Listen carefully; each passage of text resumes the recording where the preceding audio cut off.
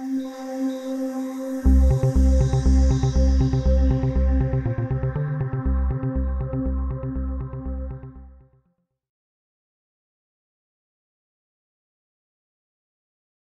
afternoon. Welcome. I'm Lowell Peterson, the Executive Director of the Writers Guild of America East. Welcome to our, our humble home. Uh, we are very pleased to be working with Hollywood Health and Society in presenting the Double X Files Health and Justice for Women in Film and TV.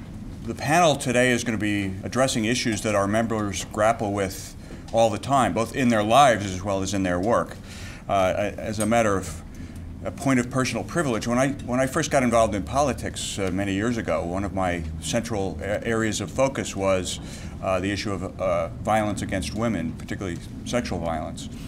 And as a young guy, I was really eager to write legislation and policy. And the women who worked with me on this uh, were careful to let me know that addressing consciousness was at least as important as addressing policy. And so I'm doubly pleased that the Writers Guild can work with Hollywood Health and Society to raise some consciousness, uh, both concrete information and addressing some of the perceptions and misperceptions in this area. And I'd like to uh, introduce from Hollywood Health and Society, Marty Kaplan, and welcome Marty to the Guild for another great event. So, uh, double X double welcome. And you look terrific.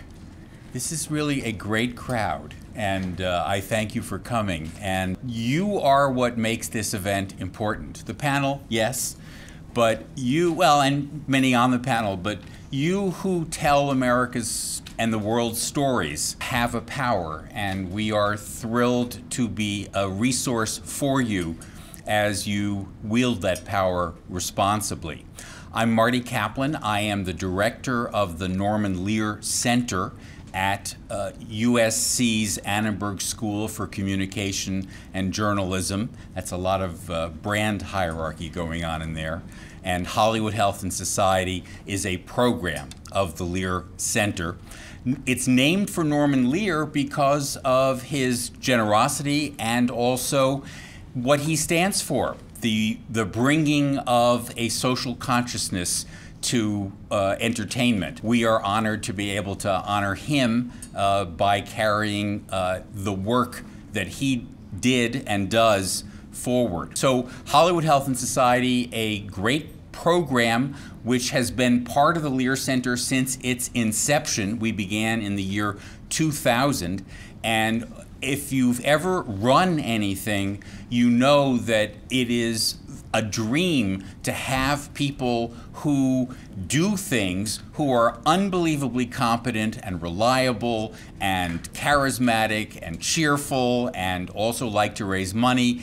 And you put all those things together, and it's my great privilege to introduce to you, our uh, ringleader, who will in turn pass the ringleader baton, uh, the director of Hollywood Health and Society, Kate Folb.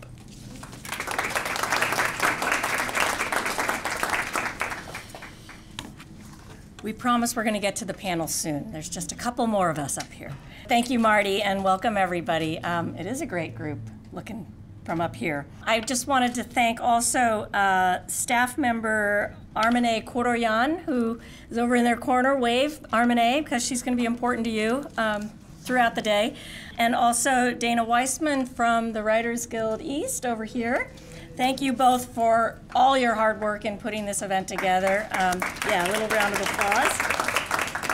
And also to Diana Gonzalez, who's consultant to Hollywood Health and Society um, in Miami and works with Spanish television. Um, we're grateful for you to be here and also for your support with the event. So thank you very much. In your packets or in your stack of papers, you have an evaluation form, which we would love for you to fill out at the end of the event to let us know what you thought of the event, how we could uh, better our presentations, or if you just thought we were absolutely terrific, please tell us that as well. And Armine and Diana will collect them from you at the end of the event. So please remember to fill those out. It really helps us to know um, how best to uh, provide these kinds of events and services to you. Okay, so quick commercial. Hollywood Health and Society. We're a free resource to the entertainment industry, providing up to date information and access to experts to support accurate storylines on health and climate change. So, if you're working on a storyline that has to do with anything, anything to do with health in the broadest sense of the term, uh, you can reach out to us. I always say we have operators standing by to take your calls or answer your emails. Um, if you have a quick question that you need language for for a script you're working on, we can do that. We can also bring an expert to you, to your writer's rooms, or through a conference call so that you can really go through the issue in more depth for your uh, storyline. And the best part about what we do is it's all free. So there's no charge and we don't take a credit. We're here to support you and to support the great stories that you all tell. So um, please email us, call us, keep us in mind whenever you're working on a story. And just in terms of climate change, I always like to say um, it's probably the biggest health issue we're all facing, right? So it fits under our umbrella very nicely, or not so. In addition to the consultations that we do, we do panel events like today, we do screenings, we even take writers on field trips to immerse them into the subject matter um, to help you get a better experience and understanding. Um, and again, this is all to support your work. When it comes to medical health, climate science, uh, anything to do with health at all, we've got your back. Please, um, please reach out to us. And if you're tweeting today, um, we're using the hashtag women's health, so please tweet about what a great discussion we're going to be having and all our fabulous panelists, um, and we'll be sure to share them as well. Before I leave, I just want to introduce our next speaker, who is Valerie Borden. She's the principal advisor in the Division of Strategic Communications at the U.S. Department of Health and Human Services Office of Women's Health. Oh my goodness. and I would like to say also that the Office of Women's Health and the Centers for Disease Control and Prevention are two of our primary funders for the work that we do to enable us to then provide these services to you uh, free of charge and for no for no uh, credit. So, Valerie, please join us.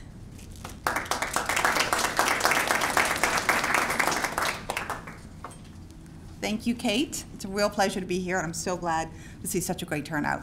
So today I'd like to take um, a look back at how far we've come in the last 30 years and where we might want to go in the future. And I'll just briefly touch on the three topics that the panelists are going to address today as well.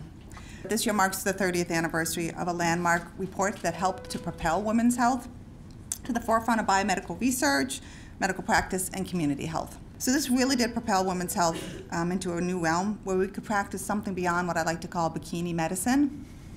So basically, a woman's health involves more than just a reproductive functioning, more than what um, is covered by her bikini. Specific health functions, conditions, they just they work differently in women than in men, and that's really just due to the basic nature of, um, of cells that make up a woman.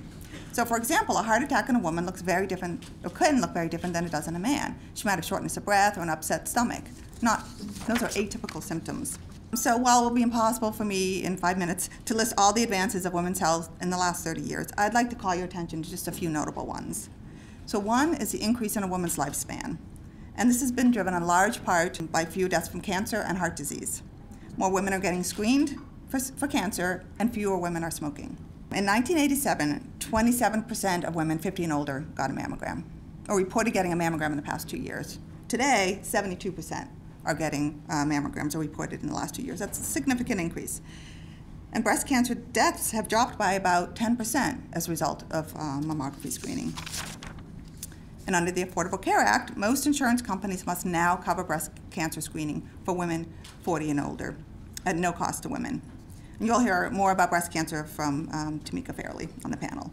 We've made tremendous strides in caring for women with HIV and AIDS.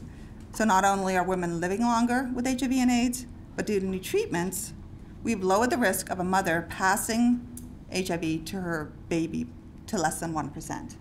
So that's basically ensuring the health of a future generation.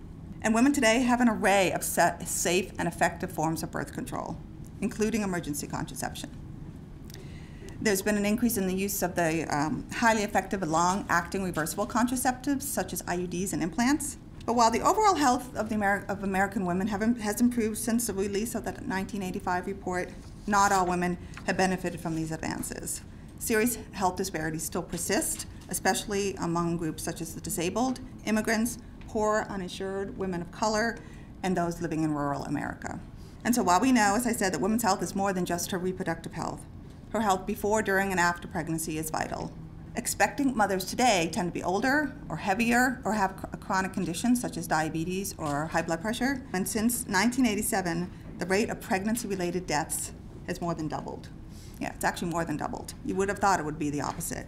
So much still needs to be done to improve the health of moms and their babies. In the United States, about 50% of pregnancies are unplanned, despite the multiple types of contraception that are now available and even covered under the Affordable Care Act.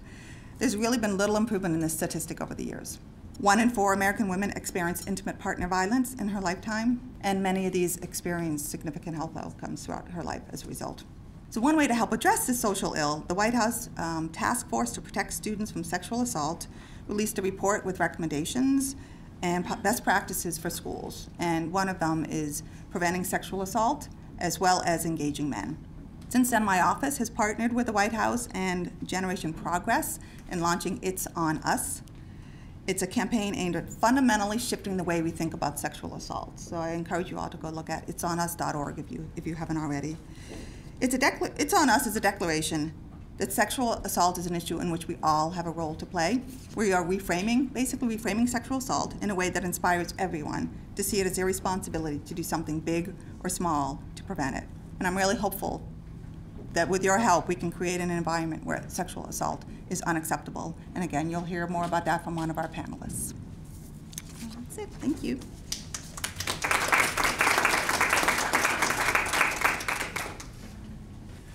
I also want to thank Lowell and Michael Winship, who couldn't be here today, and the Writers Guild East for partnering with us in, in this event. I wanted uh, the special privilege of being able to introduce our moderator today. I lobbied for it and I got it, and I'm thrilled that I did. Uh, you, you have her bio, I won't go through it all. Uh, just a, a, a few things. In 1996, she was co creator of The Daily Show and ushered in an era that we now kind of take for granted. But the idea of uh, satire on uh, American television did have a birthday, and uh, you lit some of those candles. So thank you for that. she is from Minnesota, which I take special pleasure in noting because she manages to incorporate both the niceness that comes with that and also that kind of purple rain edginess that that I yes, yes, that, that I that I love. Uh. I, I was very fortunate uh, to be a colleague of Lizz's when Air America Radio began. Lizz was a co founder and host of one of the key shows in the lineup. Uh, it was called Unfiltered, and her co hosts were Chuck D and someone that only people in North Holyoke, Massachusetts knew about, named Rachel Maddow. And so uh, it was a great pleasure for me to uh, walk around and, and see Lizz and, and get to admire and appreciate her work. And uh, her show lasted longer than mine. So, um, Lady Parts Justice is her passion right now. If you if you uh, uh, read uh, follow Lizz on uh, Twitter, you will see the most amazing retweeted hate mail that that she gets, usually preceded by the phrase "He seems nice." Which is, is I think has become a national uh, catchphrase and I love her dearly. No one could be a better Sherpa for us today as we go through this. Please welcome Lizz Winstead.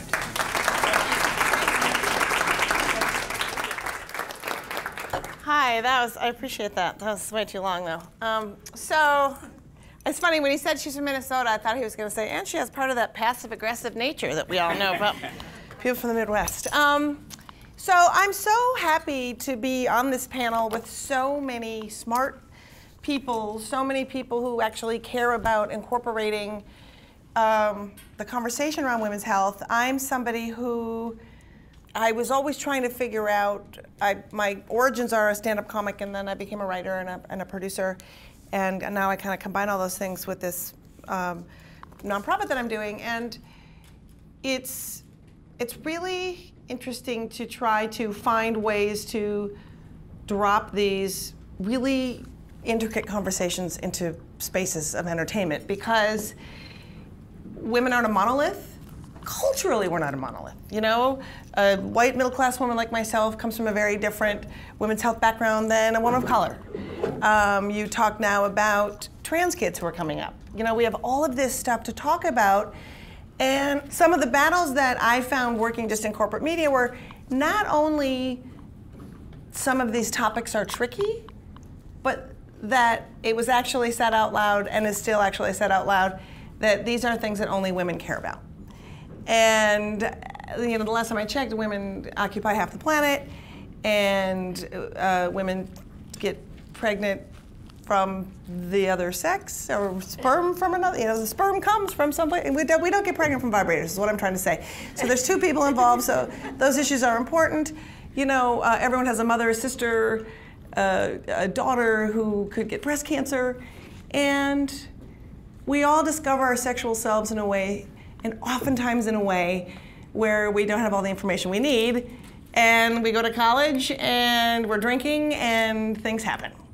So why these things aren't like, oh, we need more storylines about this has kind of always been um, surprising to me. So I started this nonprofit basically to, it's sort of like Funny or Die meets information about all of the uh, reproductive assets that's eroding coming from state levels. And so you go to the website, you click on your state, and then you go, oh my God, I live there. Um, and then hopefully you take action when we give you some plans. But to know that this is expanding from dropping into pop culture spaces to dropping it in pop culture spaces in a way that makes sense is really cool. So I will talk. Um, and I'll just say one more thing, and I'm, I'm, I'm really happy that the work is happening, and some of you have done a really great job, and I love that. And I think when I will feel incredibly excited that we're on a path is when I see a, a, a young woman who is a really likable character who had to have an abortion so because she just wasn't ready and she didn't have a cold heart she didn't have a stigma about her and when i see a woman with a really complicated life be able to get some justice in sexual assault, then I will be really excited. And those are the storylines that I really hope we can push for and have because those are two things that are happening all the time. And judgment is placed on both in a way that I think you guys are going to be really awesome at um, making happen. So before um, before we introduce the panel, uh, we're going to roll a little bit of a video of a montage of how people have talked about these issues throughout um, their, their particular um, avenues. So have a look see over here at the video.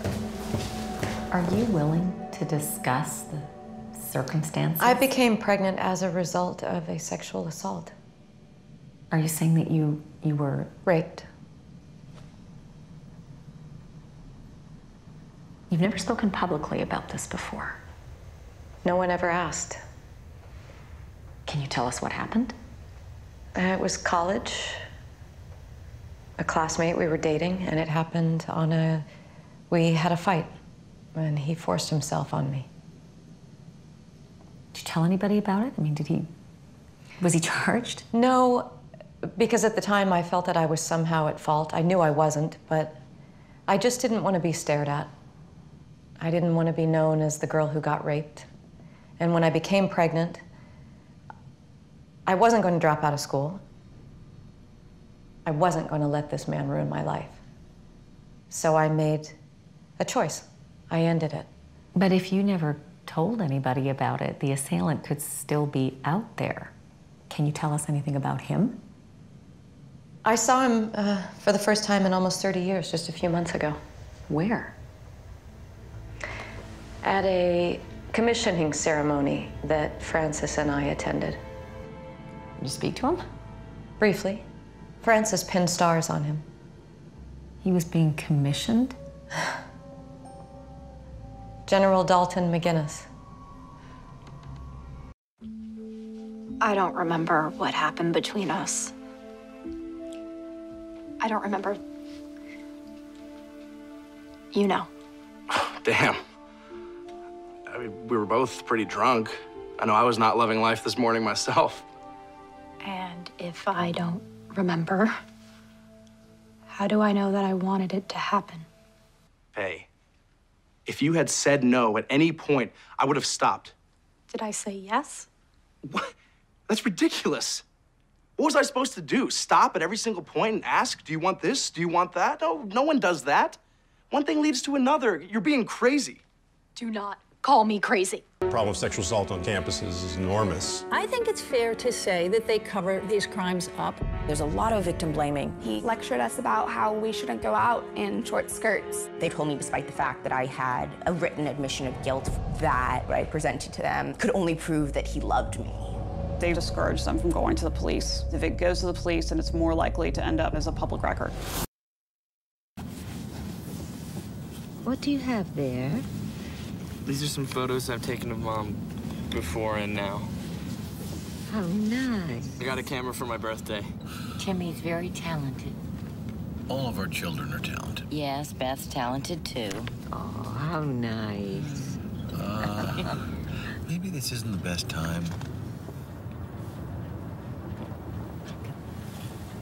This was before. So I could remember them always. Okay, that's that's uh, enough now. I, I think so. There's one more I want to show you.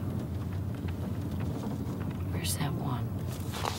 Ah, this is my favorite. Look how the light and how the arm is. If you hadn't been breastfeeding, you never would have thought that lump was a clogged milk duct. You would have gone to the doctor as soon as you felt it.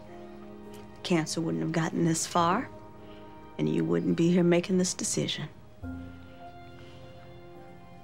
Am I close? What kind of mother blames her own baby for her cancer? A mother who's human. A mother who's overwhelmed. Good to see you, girl. Hey, you too. Here's your emergency contraception pill. You should take it as soon as possible. Yeah, I know, Juana. How much do I owe you? There's no charge for the Ella. You qualify for free birth control here. And if you apply for the Affordable Health Care Act, it can all be free, even at the pharmacy. No shit. No shit. Now, remember, your new birth control pills won't take effect for four weeks. So use condoms. I will. Are you sure you want to do this? Yeah, I can't be pregnant anymore. I can't. Okay. Well, um, how how are we gonna pay for it? Craig gave me money when I went last time, so I still have it. Okay. Do you want to call him? No, Parker, just you and me, okay? Okay. So there's a bus that leaves for Chicago in like half an hour, so if we hurry. we- No, no, no. You know what? Actually, I have my mom's car keys, and I got us some stuff to eat so that we don't have to spend that much money. Thank you so much. Aside from codifying the somewhat odd notion that corporations can have deeply felt religious beliefs, one thing struck me about the decision. Hobby Lobby didn't want its employees' insurance to cover certain contraceptive methods, such as Plan B, because they said that method caused abortions. The only problem uh, with that is, is, is, is not, uh, um, what's the word I'm looking for? True. Um, at least according to the Food and Drug Administration and the American College of Obstetricians and Gynecologists. Although, what do they know about vaginas? I don't think. Not as much as the owners of a store that sells foam cones and glitter. So this is how it's going to work. I'm going to introduce the panel and, and just give you a little bit of a, a, a quick one of what they do. You have all of their bios in your um, packet. Um, and save your applause to the end. Just I feel all of a sudden like I'm Gwen Ifill moderating a panel. It's pretty exciting. Um, so I'll just go down and then we will start conversation with question and then follow up with each of the people and then we'll open it up for you guys to ask questions. Sound cool? Okay, great. Um, to my left here, first up, is Dr. Debra Houry, the director of national, the, the National Center for Injury Prevention and Control at the CDC. Next to Debra, we have Beau Willimon, playwright, screenwriter, and Academy Award nominee for The Ides of March, and he's the creator and showrunner Emmy Golden Globe winning House of Cards. Next to Bo, we have Temeika Fairley, Senior Health Scientist with the CDC's Division of Cancer Prevention and Control. Next to Tamika is Peter Hedges, novelist, writer, and director of three films, including Pieces of April, a film that features a mother battling breast cancer. We have Dr. Raegan McDonald Mosley, the medical director at Planned Parenthood of Maryland. And Jean, is it Pasan? Passanante, seasoned soap opera writer, currently on The Young and the Restless. And we have some storytellers in the front row. Raise your hands so people can see where you guys are. Mary Beth Seitz Brown, organizer with Columbia Alumni Allied Against Sexual Assault. And Desiree Walker, breast cancer survivor, patient advocate, diagnosed at age 38 and again at age 47. How about applause for all of our people? Oh my God. So much to talk about. Um, we're going to start with sexual assault, and I'm going to go First to you, Dr. Houry. Um, it's it's in the news, and what I find incredibly troubling when we talk about sexual assault is how much hate is thrust at people who are trying to raise attention to this subject. You bring up sexual assault and you hear, not all men are rapists. It's like, wow, I didn't, maybe you are one because you just attacked me for just talking about it. Um, but also, where are we at in the conversation? Kind of set the stage for where it's all at. So, and that's why I'm excited to be here today because I, I wear several different hats.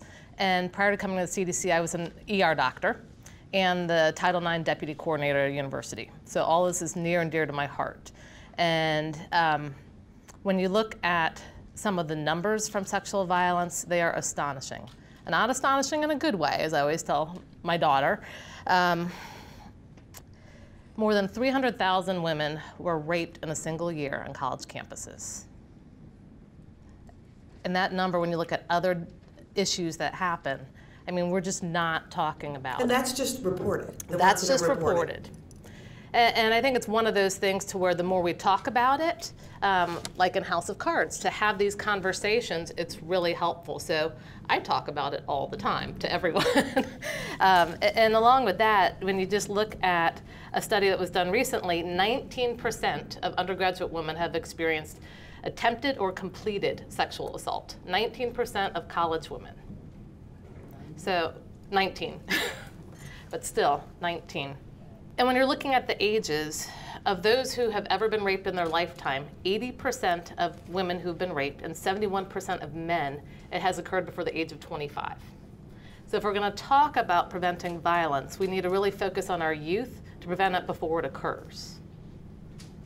This is happening, most of these actually happen around age 18 or earlier, but 25 or earlier is when 80% of all first rapes have occurred by. And we have a lot of misperceptions about it. It's not that stranger on the street. It's not that dark corner. It's the person you know. Only 13% of rapes are committed by a stranger. Most victims of sexual assault do not report victimization. And I can tell you that because I've treated them in the emergency department. And most don't come see me. Those that I saw, I would always thank them for coming in because that's a huge step. And I would know that coming into the ER in itself was traumatic because the exams are not comfortable. You're in a cold room, you're already scared, and we're re-traumatizing. So I always thank women for coming in, telling me did the right thing, because we know if we can support women, that's the best chance we have on getting women to report sexual violence. I've completed over 100 rape exams easily in my life, and I've stopped counting. But I still remember many of them. And there was one woman a few years ago who had come in kind of sheepishly with a friend and just said she wanted the morning after pill. And I said, you know, how, how can I help you? And said, I, I may have been raped. I said, well, this kind of changes our conversation. Um, and I brought her into a private room and said, how, how can I help you? And said, I don't want to talk about anything. I just want some antibiotics in the morning after pill. And I said, I hear you. This is kind of what I've been doing research on for over a decade. Um, I'd like to revisit this conversation. what happened.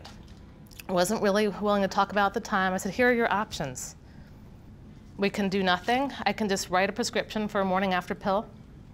I can do a general medical exam and make sure there's nothing that I need to treat you for. We can do a forensic exam. We can call campus. We can call the police. She agreed to a general medical exam. And on exam, her genitalia were extremely swollen and bruised. And most of the rape cases I treat don't have injuries. And that's another important fact to realize. Most women don't have significant injuries on a rape exam. Does not mean they were not raped. This woman had a significant amount of bruising because she was unconscious when she was raped. And so there wasn't that lubrication. She was traumatized repeatedly and repeatedly. So I told her my concerns. We talked about it. She still didn't want to come forward to the police, but she did agree to report it to the campus police. And we found out that this had happened repeatedly by the same person. So by coming forward and reporting it, we're at least able to bring attention to this one individual. And what I would say too is in my Title IX hat, I wouldn't do it if I didn't believe people couldn't change. And I think we need to change social norms from saying don't be a victim to don't rape. And so I would go around to many different groups and talk about, I would never start off with rape because as you were saying, the second you talk about rape or sexual violence, people shut down and don't want to hear it. So I would talk about respect, professionalism, safe relationships, being a good person. And then I would add in sexual misconduct and rape. And after one session I did, I had a dean crying. I think it had really hit home, and I was brought in to do this lecture because there were concerns on campus that this was happening. Afterwards, two women came forward and disclosed rape, and what was even, um, I think, really surprising to me was a male came to see me in my office, and he said, I think I raped someone. And he said, I never thought it was rape. I didn't get that what I did was wrong. And I said, that's a first step. I wouldn't do this if I didn't think we couldn't bring awareness to the situation and change it. He actually entered counseling, and I said to him, again, people can change, and it's important that you realize what you did was wrong. These were medical students. These were medical students. And I kept saying to everybody, if you're going to be a doctor, and you can't realize what rape is when you're doing it to somebody or that it happened to you, how can you take care of others? How can you be their patient, you know, their advocate? How can you help them with reporting? And so that was a big eye opener for me. There is a lot that we can do on campuses. We can change the culture by making sure it's both student driven and top down. If administrators are giving lip service but aren't actually showing by example and supporting policies, there's not going to be change. Similarly, we have to look at do survivors have a safe environment? One of the women that came forward to me in Title IX, her grades were failing. She didn't want to attend class with a person that was, she was accusing of rape, and she was worried about school. Fortunately, the school really worked with her, um, and she was having one of counseling too, which occurred during a mandatory class. They worked with her to address all that. But if that system's not in place, it's going to fail. The other two things I'd bring up are alcohol policies and just really looking at alcohol. Alcohol does not cause rape. Let me say that again, alcohol does not cause rape, but it can increase the risk of perpetration or victimization. So looking at restriction of alcohol on campus or local facilities is really important. And the second thing is bystander interventions. At CDC, we've funded two um, promising ones so far, Green Dots and bringing in the bystander, because not all bystander interventions are equal. But these two are showing a lot of promise. And what it does is changes the conversation around social norms, gets people to be witnesses to inappropriate behaviors and to actually step in so that things like what just happened last week at a Florida spring break don't happen. People realize what's happening, step in, intervene. And what I like about bystander interventions, it impacts other types of violence. Not just sexual violence, but bullying, dating violence, the whole spectrum. So if you remember nothing else I've said just now, please remember violence is, is not inevitable, it's preventable. And by starting early and focusing on perpetration and changing the conversation around social norms, we can have a huge impact. Thank you. I just want to go. I just want to go back to one one little follow up there and, and that that is don't rape. And I say that because um, there's been so much language around the conversation to have with young men about rape, and the, the, what you hear from people who are just sort of exploring it for the first time is, how can you have sex? It just sounds like you negotiate every time. It's like that just sounds awful, and I'm like, if you think negotiating during sex is awful, you haven't had good sex. Because having sex with someone is always a negotiation, right? If if it's get off my hair or if it's more of that, less of that, it's all, but I mean, you know what I mean? So, like, the way you have to introduce things also in, there's the very practical way, and then there's the, let's sit down and talk about fucking. Because every step of the way, it can be awesome. But the first step is if the person is incapable of saying yes or no, that's a no. And then every step of the way, find out what someone likes. And if they want, and if they say no right then, just stop and take a break and talk about it. You know, it's like she likes you enough to have started something with you. If she wants to take a break, be cool. It's good. But I think talking to our boys in a way that, because when people are young and inexperienced sexually, I think you don't understand you'll have sex again sometimes. It's like, I'm having sex with this person. Am I ever going to have it again? I don't want it to stop. You know, just all the things that go around it that you want to dismiss, but that are very real for some people who are sexually naive. So I think exploring all those things are really important. Hundred percent. I mean, Okay. I, I think it's about having. mean, the do I sound like I'm insane? have- have- having the conversation. You know, Yeah. ha- and again, it's not just about the actual act of rape itself. It's Right. about you know violence, misconduct, the whole spectrum. About always, you know, having consent and um, I think just valuing people. Right. Respect. Right. Well, let's move on to you, Beau. Um, you guys talked about it, and it was super powerful, and it was great. And when you're thinking about a storyline like that, how do you think is it? We need to talk about this because it's part of the world that we're we're creating. Um, did you feel a sense of responsibility, or did you feel like this is just part of this world? Like, how did you how did you approach the subject?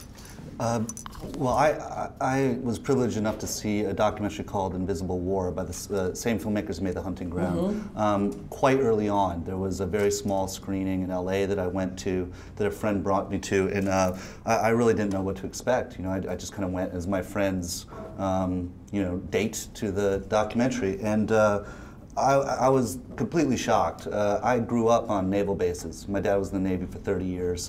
Um, and for those of you who haven't seen the documentary, it, it, uh, it, takes an unblinking look at sexual assault in the military. Uh, estimated 30,000 sexual assaults in the military, uh, of which only 10% are reported, of which only about 10 of those, 10% of those actually get to any sort of hearing, and only a handful are actually prosecuted in some way. And to think that, you know, inevitably, uh, because I was on large naval bases for the first 10 years of my life, surrounded by thousands of servicemen and women, uh, it, was it, just the numbers dictate that this was happening close to my house. This was happening on naval vessels that were, you know, at port just down the street. Um, that's the Navy calling. They're coming in. No, and you know, I had such uh, I have such great respect for the military, uh, for my father's service, um, for uh, you know what was a pretty incredible childhood for me, and to think that this this was uh, this these places were a nightmare for some people, uh, both men and women. In, in the military, it's actually 50-50, but that's only because men uh, comprise so much more of, of, of the service population. It's disproportionate in terms of, of the female population. But um, so you know. I it, it stuck with me, and it, and we don't approach the show. Uh, you know, we have non-ideological protagonists. I mean, they they are out there power for power's sake. So it's not like they're glomming onto an issue and saying this is what I care about. I want to change the world. Uh, that said, they're not complete sociopaths, and there are things that do matter to them. Uh, and uh, you know, when I brought it up with the writers' room, I said this documentary stuck with me. Um, you know, I, I, something about this and Claire feels right to me. Let's discuss it. I want to, you know, if we are going to explore it, explore it responsibly. Um, and uh, and we began having that discussion. Um, it was important to, you know, the more we talked about it, our goal, I think, as storytellers, is to, you know, hold a mirror. Uh, and the more I learned about it, the Mirror said this was an endemic problem. Uh, it's, it's if you want to portray the, the, the, country, this is a part of it. And, and in portraying gender at all, I mean, a lot of people ask me about strong female characters or how do you write your women. And I say I have an issue with the term strong female character because why, why aren't you asking about strong male characters? Yeah. There are strong women, there are strong men, there are weak men, there are weak women. Usually we're a mixture of those things uh, depending upon given circumstances. And the important thing is uh, everyone's needs are gender blind. I mean, the need for love, for respect, for power, ambition, trust, betrayal, these are all gender blind things.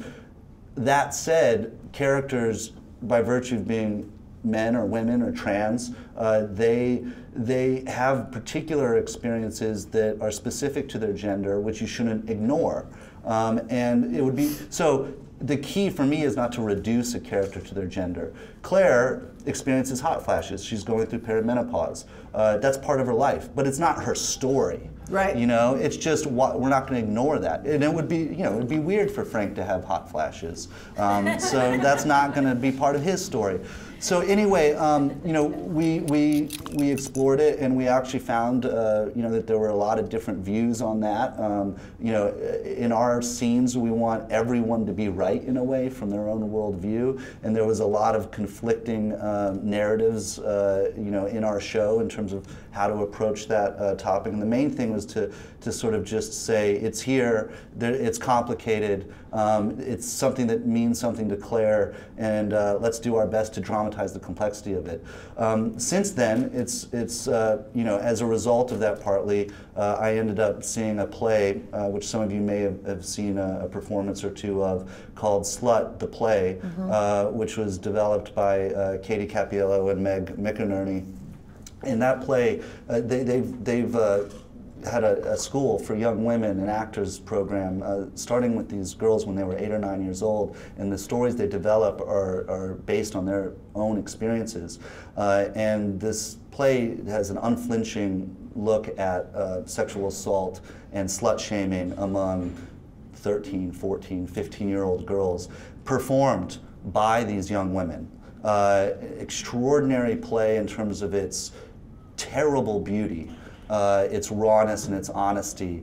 Um, and, uh, and the fact that it's being performed by these women uh, makes it that much more powerful. Uh, so, you know, we're uh, helping them organize next month uh, in DC. Senator Gillibrand is co-hosting this event. We're going to do it for 2,000 students and lawmakers in DC, uh, performance of this play. Um, get the senator and some of her colleagues up on the stage to talk about this stuff.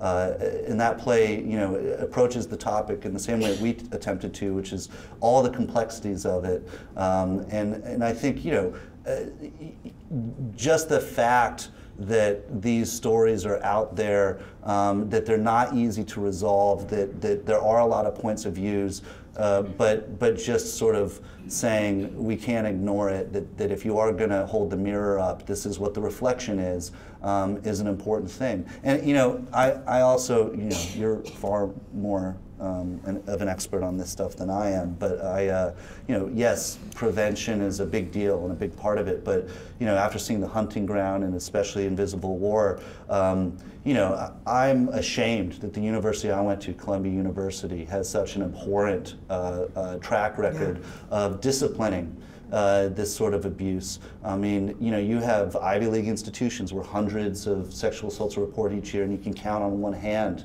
um, or on some of them, no hands, the number of those that lead to disciplinary, disciplinary action. You want to prevent as much as you can, but there are predators out there. We know that this is a thing where it's repeat offenses. Mm -hmm. uh, you have unsafe campuses in high schools and middle schools. Remove the predators. If they I believe that every university, when you apply and when you're accepted, every student should have to sign a waiver saying that if you were disciplined for uh, uh, sexual assault, that you cannot sue the university. Because the reason the universities aren't actually disciplining these people comes to, they'll all agree sexual assault's wrong, but it costs them money costs them money to get sued. And I think that if you're a university that you went to, if you give a dollar, you give a million dollars each year, you have to call up uh, you have to call up the people that you're donating to and say, I will not donate another dime until you have a more progressive stance on how you discipline sexual assault. Because unfortunately, like politics, it's always it always comes down to the money. And i think we have to um, be honest about that. Uh, we want to change the culture but you have to force the culture to change. Yeah. and there's a price tag to that.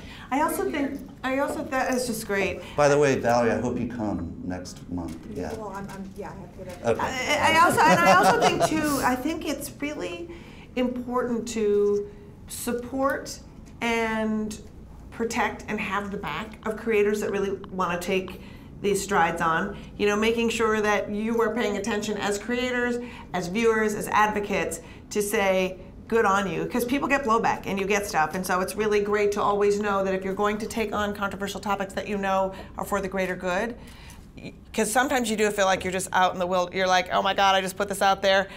Holy shit, um, I'm just being attacked from all sides. And so to be able to be a really good partner in that, I think is, is really important. And I want to come, when we go around and uh, come to questions, I, I want to ask something specific to you about how you actually approach, I want to, and I don't want to ask it now, but I want to remind myself and remind all of you.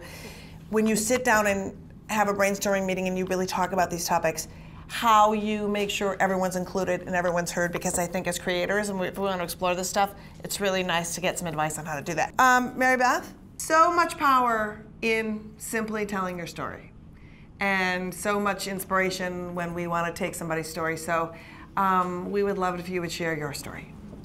Great. Um, yeah, thank you so much for um, having me and uh, for all of you being here and being willing to learn and hear these stories and internalize them and use them in your work. Um, in a lot of ways, you are actually consent educators um, and you are health educators. Um, because if you think about the number of years that you're that I've watched television and just internalized messages about what sex looks like, what rape looks like, um, it's probably now 15, 20 years that I've had those messages, and I've had probably two hours of consent education in my entire life. Um, so 18 years versus two hours. Um, it's the messages that I've gotten from television and from uh, movies and from the other media that I consume um, really did affect me when I was assaulted. And I was assaulted twice um, once when I was a first year and once when I was a second year. Um, and both had very different dynamics. Um, once I was sober and it was by my boyfriend and uh, happened in my own bed. And I didn't really have the language to put to that for about a year after when I sat in on that consent education, that second hour that I had. And I heard people defining what consent was and defining what rape was. And I was sitting there thinking, huh, that happened to me a year ago. Um, and I was really grateful to have that opportunity and hear uh, experiences that other people shared and realize that I could claim that word rape because it was so loaded. Um, and because of the image that I'd seen on, you know, crime shows or just heard from people talking about rape, that experience that I had where I was just in my own bedroom with someone that I loved and trusted and had had consensual sex with before didn't really match up. Um, so the work that you're doing and the work that you're writing really is informing whether or not people feel empowered to come forward when or if this happens to them. Um, and it's not just me. I think often a lot of people that are portrayed in the media look like me. Um, they are white women that are about my age. They're probably not fat or trans or low income or immigrants. Um, and those people are all disproportionately affected. So I hope that you're showcasing some of their stories as well. Um, but I think when we talk about campus sexual assault specifically, uh, something that I've learned from just all of my friends, and there are a really heartbreakingly huge number of people that I know who have also been assaulted. Um, and it's you know when they were drunk, when they were sober, when by someone that they knew, by someone they didn't really know, by their best friend. Um, you know, there are just an infinite combination of factors that can go into these experiences, and there really isn't just one story to tell. Um, but when we talk about campus sexual assault, we also have the added institutional and community betrayal that comes out. Um, and this happens everywhere. You know, if you think about um, sexual abuse within churches, within the military, within schools, you know, public schools and um, pre-K, and there are just so many other institutions out there that are invested in protecting their own image, that are invested in protecting, um, you know, and not being sued, as Beau just talked about. Um, and so what that often means is that if someone, you know, manages to push past the notions that they have about rape that they've internalized, um, manages to push past their own self blame, their own depression and PTSD and anxiety that they are most likely experiencing after being assaulted, and then report, they're then betrayed and often re traumatized by those systems. They're discouraged from reporting, they're told, you know, what happened to you doesn't count because you're transgender, so it's not possible for you to be raped, as one of my good friends from college um, experienced. Um, and there are just so many factors within that institution that are fighting against them and um, preventing them from seeking healing and justice. And so I have an ask of all of you, um, two asks actually, and the first is to portray more examples of affirmative consent. So consent where it is actually a conversation, where people realize, you know, it's not the negotiation, it's not the contract, it's actually very normal and healthy and better sex to have this kind of conversation and make sure that everyone that's participating is enthusiastic and fully on board with what's happening um, so that people don't have to go the 18 years to get their first hour of consent education in an orientation workshop that they're probably skipping or not actually paying attention to. And instead, they get those messages in little bits and pieces throughout their lives, and they realize this isn't actually that hard to figure out, and my life will be better if I understand what affirmative consent is. And then the second ask that I have for you is that if you do choose to write about campus sexual assault or sexual violence in general, talk about more stories and provide nuance and realize that you know, very rarely, there is no such thing as a perfect victim, um, as my friend Wagatwe Wanjuki mm. created a hashtag to um, address when we heard um, some interesting articles that were defending perpetrators in the past couple of months. Um, and she really came up with that hashtag to show that there are so many different ways to respond to sexual violence, just as there are so many different ways to experience it.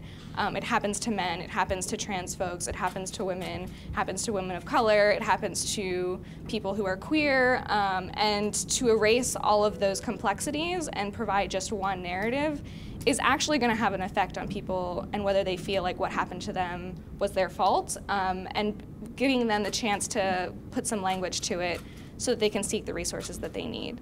Um, so that's what I ask of you, and I hope um, that you also seek out. There are so many other survivors out there that are talking publicly, and great activist groups um, that are doing really amazing work uh, to you know bring more attention to this issue and actually push for the accountability that we need and the prevention services that we need. So don't just listen to me, find them too. So yeah, thanks. Thank you.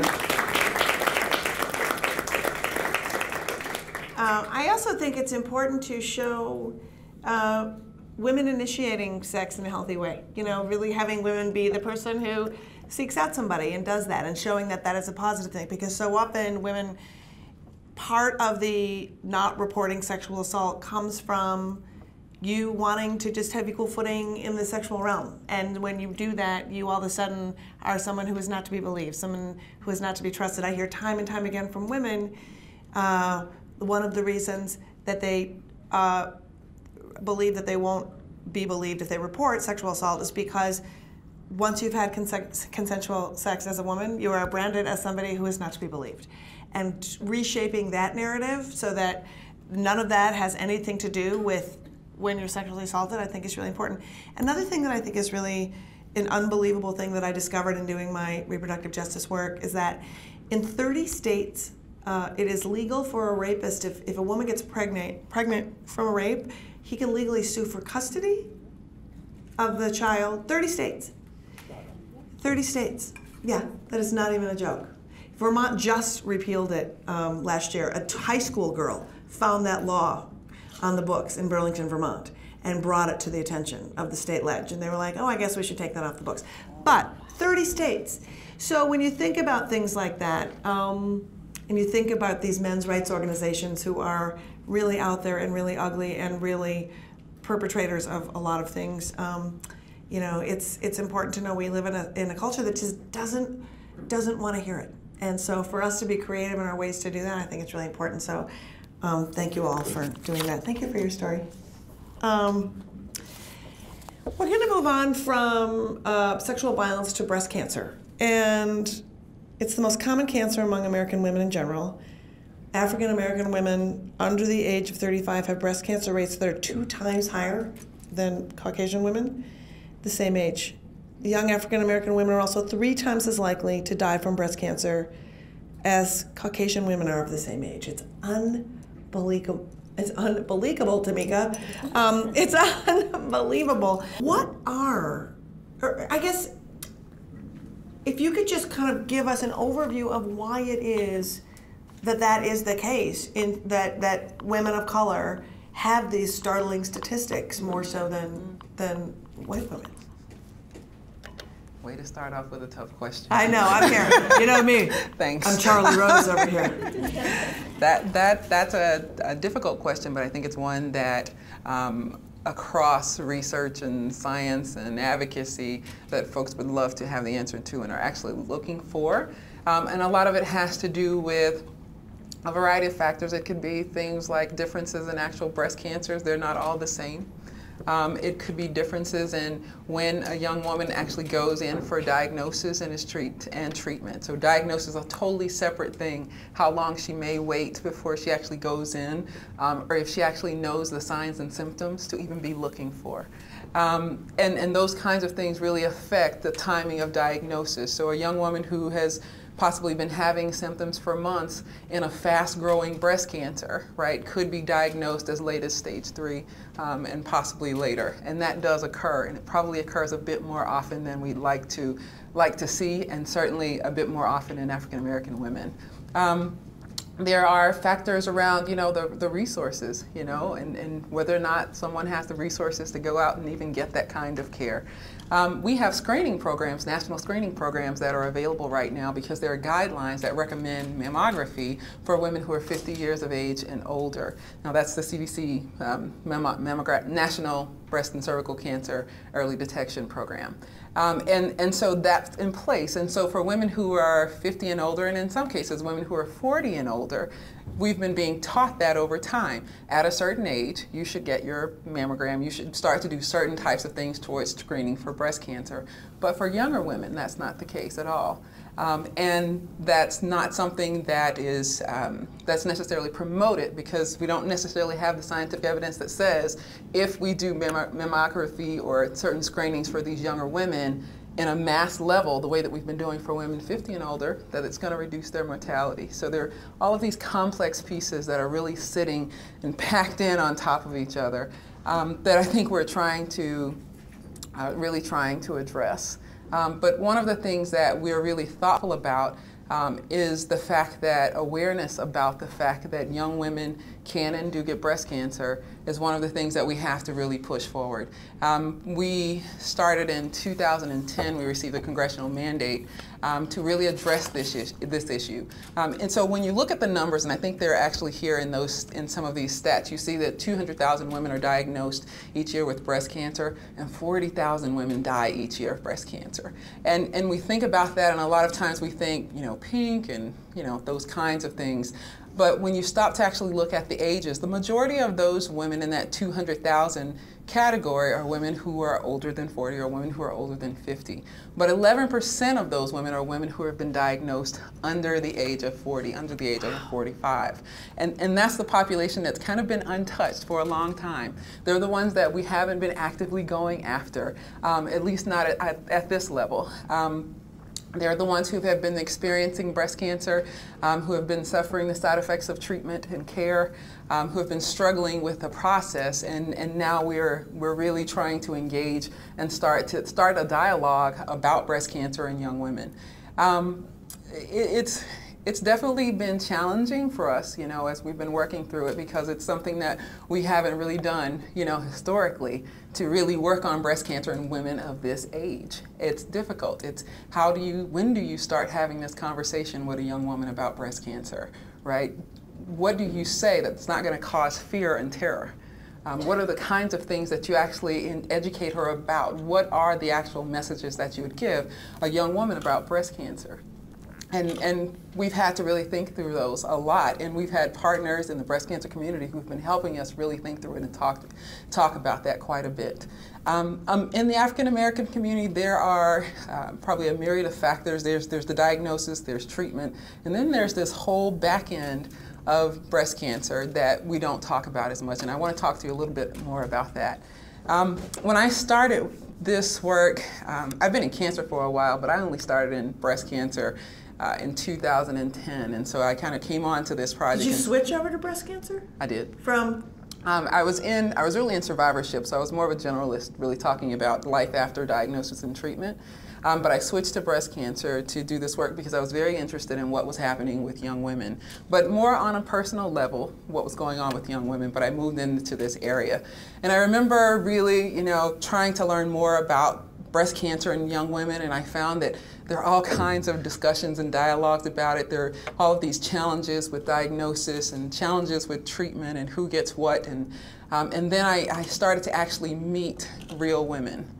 Uh, and, and if you work at the federal level or if you work at a state level, if you work in an area where you're kind of removed from real people, and, and Deb has a little bit different of experience. She actually worked in clinical care, but for those of us who have been kind of removed, um, it's very different when you actually start to engage real people. It's not, we're not talk, talking populations anymore. I'm not talking about 200,000 women and 40,000 die and 11% do this and 55% do that. It's actually real people. And I remember this instance where I went to uh, a conference and we were doing a few things at the conference. One of these was um, a focus group study because we really wanted to learn more about you know young women who are living with breast cancer. And the other was just a session I happened to somehow make my way into, you know, kind of, I don't even know if I got invited or if I just snuck in the room. And I remember sitting in that room and I was listening to young women, um, young African American women, talk about their experience with breast cancer. And they talked a bit about, you know, the diagnosis and really the shock of the diagnosis, um, and which I think we would expect. And then they start to talk about things that I had not thought about, things like challenges with fertility after treatment, right?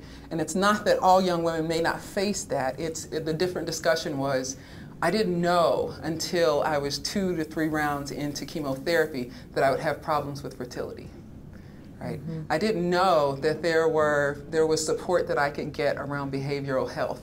I didn't know that these things were available for me. I didn't know that I would have these issues at all. They were completely blind, and so there was a level of trauma that came after the diagnosis. There's the trauma of the diagnosis, the difficulty of that, the, the difficulty of treatment, and then to find out on the back end, there's all of these other pieces of life after cancer.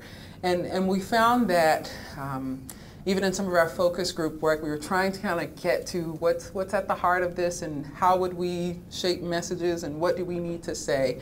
And one of the single messages that came out um, was you know, young African American women were saying to us that when we look at the resources that are out there from all of the big, you know, entities, whether they're government or what have you, none of them look like us. Right? They don't look like us. And so we don't pay attention to them the same way. They don't look like us. We don't connect to them the same way because they don't look like us.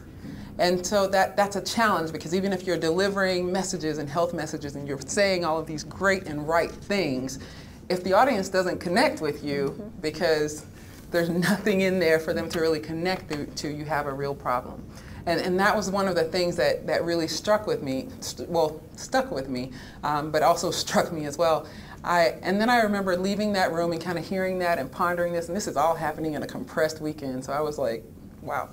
Um, I remember going out and a young woman came up to me, and it was a young African American woman, and she was 22 years old and very articulate, and she introduced herself to me, and she started to tell me her story. She says, well, I'm 22 years old, and I really want to get involved in your work, and, you know, I, I feel like this is really, really important, and she was diagnosed at a very late stage. She was already metastatic. You know, she was she was fighting through all of these different pieces.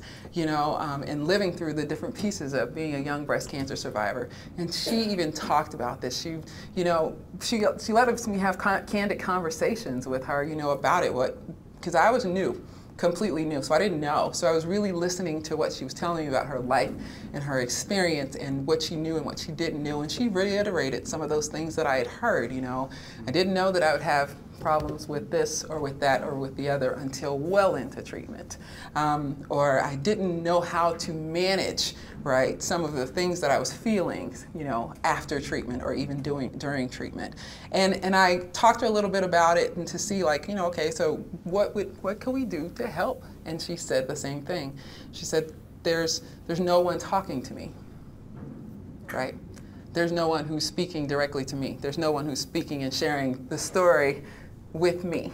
And that, that touches a lot of different levels, which is why I'm really excited to be here because you actually speak to the world, right, on this level that I, I can't necessarily reach. You know, even though I work for the government and I get, you know, a certain amount of resources for campaign dollars and things like that, I never would have the reach that you have but there are young women, young African American women, young women of other, other races and ethnicities who are living with a breast cancer diagnosis.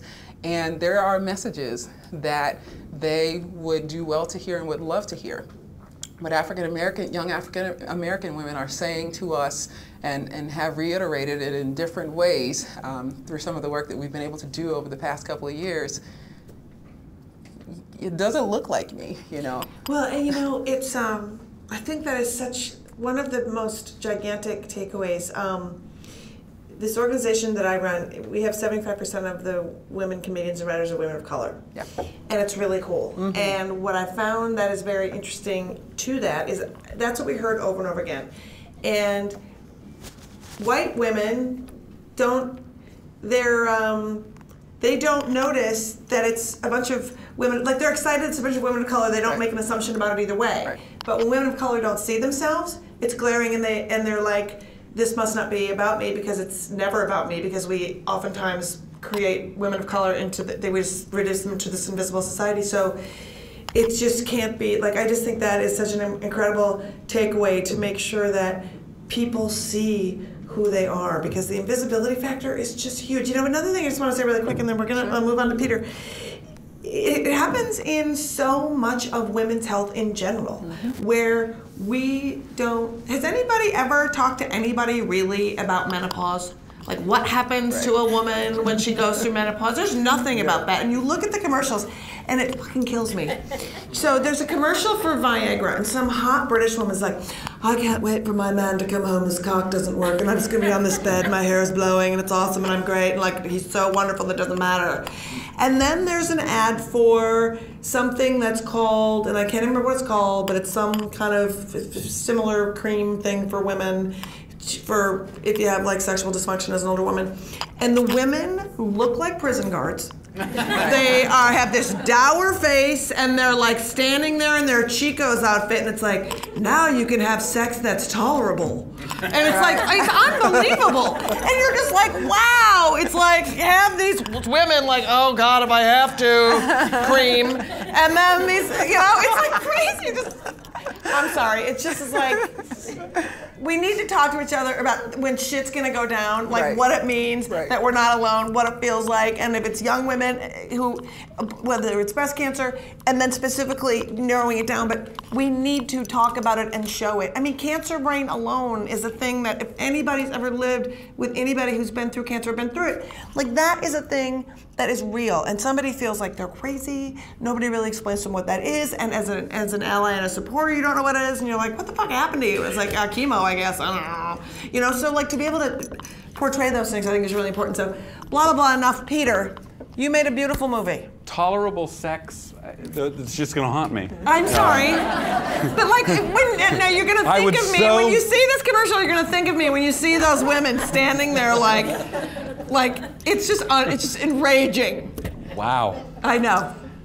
Wow, I'm blessed. Um, you took on breast cancer in a really beautiful way, hmm. and I always love and admire when men take things on because it's a it's a it's a humanity issue that touched you and that it's not a gender thing and it really felt like this just touched you because it was important and it's happening to human beings Mm. and i just love to know what your inspiration was in talking about it Sure. Um, uh, well, it all comes down to my mom, and uh, who used to say to me all the time, Peter, you never want to be the smartest person in a room. And I would say to her today, if she were alive, I have succeeded this afternoon, um, really beautifully. Um, but uh, no, um, you know, I can't. Joseph Brodsky said that uh, nothing has a greater future than money. Well, it seems that uh, nothing has a greater future than cancer some days. I mean, everyone just seems to have cancer. Can- cancer's everywhere. Um, my, my mother did not have breast cancer. She had um, cancer pretty much everywhere when they found it. Um, but it, it, I think they determined it started in her colon. But my, my mother-in-law had cancer at that time, breast cancer, when I started to write this. And, and um, uh, so um, when my mom was getting sicker and sicker, uh, I was navigating her health care with my sister, and she kept saying, What are you making? What are you making? And, and I, I, I said, I, I can't really write anything right now. I, it just doesn't seem important. I just want to find you better doctors. And, and she said, I'm really tired of talking about my doctors. Can, can, we, can you make something? Just make something. And one day I opened a file on my computer and I found um, notes for a, something I'd made some years earlier about a girl who was trying to cook a turkey for Thanksgiving.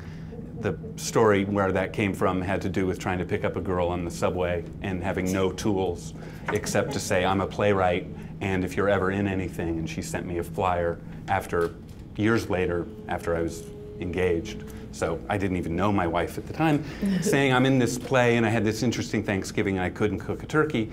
Um, so we had to borrow all these apartments. And I said, that's that's such a great idea because I've been looking for ways to put people together who would not normally be together. I felt like all of my stories were really white and Gilbert Grape, everybody's white, and, and you know, I'm from Iowa where everyone was white, mm-hmm. and, and but I couldn't think of a way to get people together, and this girl gave me this idea about somebody trying to cook a turkey and a, and but what I put in my notes was um, the reason why she was cooking the turkey was because she had this bad relationship with her mother, and her mother had cancer. And I called my mom up and I said, "Oh my gosh, I found this, these notes." And, and I had actually told my wife the idea when I came up with it. She said it sounds like a sketch. Sounds like a sketch. And, and so I kind of put it away. And I told my mom this, and she said, "Oh, Peter, this sounds like a story you're supposed to write." And so. Are you divorced now? No, no. I don't know if that's because you're interested or because you're concerned. Probably concerned. Let's, let's just leave that. No, let's just it's, leave it's that out good. there. We can Let's talk make later. Some mystery between us. We can talk later. Okay. Um, but but what ended up happening was um, I, I tried to speak at her funeral, and um, I had no words, and I just stood there. And um, my mother had an amazing story of a, a woman who uh, got sober when she was 47 and spent her life after that helping all sorts of people, particularly women, get well, saved hundreds and hundreds of lives. And I couldn't honor her at the funeral, and um, I was so upset, and I just sat there afterwards going, I can't believe I couldn't say anything. I had no words, and I just decided I wanted to make something special as a tribute to her, not about her. And so that's what the movie ultimately became, was my attempt to um, articulate uh, my respect for her incredible ferocity and all the ferocity I see with all of my friends, um, my friends who've dealt with AIDS and so many who've had cancer, some too many uh, that have had breast cancer. Um, so it, if, the interesting thing was in my very first draft, when I did a reading, I'd made the mother of this almost saintly character. She was just, you know, she had cancer, so I had to make her be the person who you all felt sorry for. And, and, and, it, and it, it was really cloying. And, and my mother had real grace and real humor, and I was surprised how much humor there was around the disease, too, and how much could be manifested in its, in its in its ugliness and in it, and its beauty, strangely.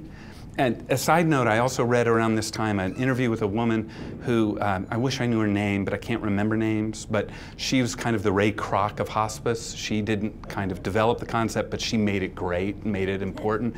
And they asked her when they asked her how did she want to die, and she said, "I want to have cancer." And people were just appalled. And she said, "No, no, um, I, I, I would prefer a cancer death because that gives you time to say thank you." I'm sorry, and goodbye.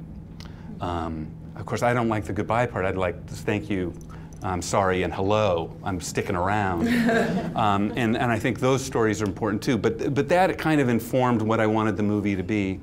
Um, uh, so anyway, I got lost because I was really about to make a really cool point.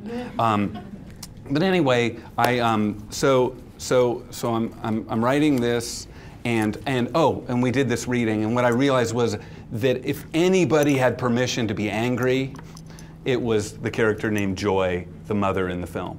So when I, when I allowed her to be really mad that she was running out of time, and to really build this separation between her daughter, uh, played by Katie Holmes. She had a daughter who doted on her and a son who had just loved her, and then she has this daughter. That the only time in the film the word cancer is ever mentioned, she says, um, you know, I, she, she bit my nipples when I was breastfeeding.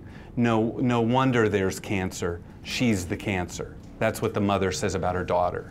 So they have a lot of ground to cover. So what I was interested in was um, what we do when we're losing people we love, and how. Look, we all we're all here on limited time anyway. You know, uh, anything could happen at any moment. But but could a movie set on a day with people who were far apart, could could the fact that um, we're all mortal and we're all dying, but but some more quickly than others, and some have a real ticking clock. Could that inform a kind of grace? Could grace be found in that? And, that's all I, I tried to do. I, I, I, didn't try to do anything more than that. I, I was fortunate because I, uh, we had no money. We shot the movie in 16 days for $300,000 and, uh, and, and tried to find a way to deal with um, a lot of the, the physical aspects and the symptoms that uh, would, would be manifested in, in Joy. Uh, she smokes uh, medicinal marijuana with her son in the bathroom. At one point, she throws up. We see her in the bathroom twice, and it gets on her wig, and you see her wash the wig. Um, and then you see, and then, then you realize, oh, that has been a wig. Um, and then that, the only time you really understand the kind of cancer she's dealing with is in that short scene that we saw. And I was fortunate that there was a, a, brave woman in the world who allowed us to use her post-op photograph. And, and the movie's about making memories, and, and the movie ends with a photograph of the family together. Sorry, spoiler alert. uh, but for this, this, moment of, this moment of grace. But anyway, um, cancer has taught me so much and um, continues to teach me. Uh, and and and I, I, guess I wanted there to be a story uh, where there was, even if it was just for a moment, that it that it that you know there could be uh, an emotional and personal triumph, and so that's what I tried I to do. I think that's great. I also think it's important to show which so often we all feel, whether you are somebody who has survived cancer or somebody who has um, has had a loved one, um, being able, you get mad at them. You get mad at yourself. You, you know, people are imperfect people no matter what. And then when they get cancer, sometimes they're still assholes.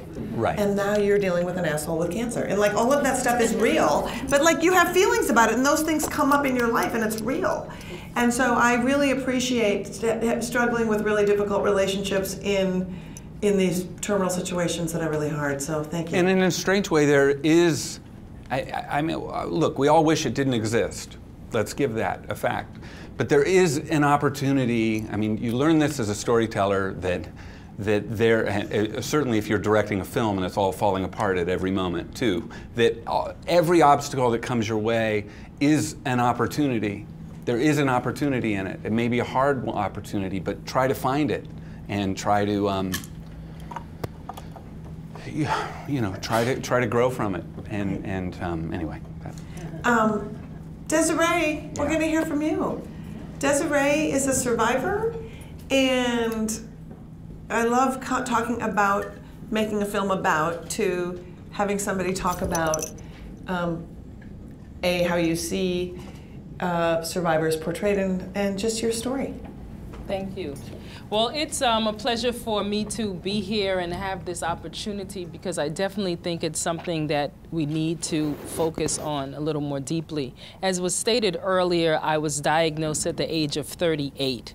And I like to say, you know, I fall under the young adult category at that time.